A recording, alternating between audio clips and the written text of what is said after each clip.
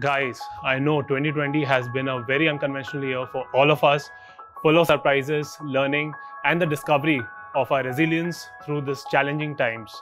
With the COVID 19 pandemic, it is certain that your immunity is the eighth wonder of the world and the global currency for good health. Friends, health and life has become extremely important given that we have to survive this threat of infection that poses on us. And the best way to get this eighth wonder, which is your immunity, is to work out regularly, consume good nutrition, and manage your stress effectively.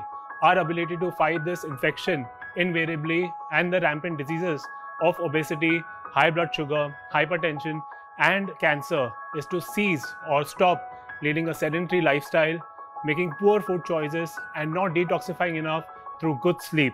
Friends, the emerging fields of functional medicine and nutrigenomics has confirmed time and again through its various studies that our choices of the lifestyle that we lead profoundly influences our genetic and epigenetic factors which truly impacts our overall health and longevity.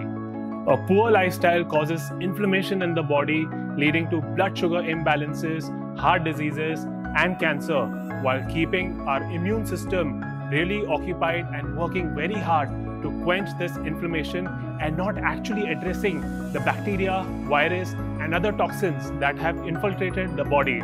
Indeed, an excessive immune response can also lead to problems of autoimmune diseases and a lower quality of life.